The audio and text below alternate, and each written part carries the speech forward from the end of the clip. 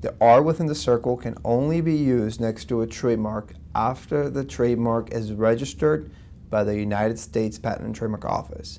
If your mark is not registered with the United States Patent and Trademark Office, you cannot use an R within a circle.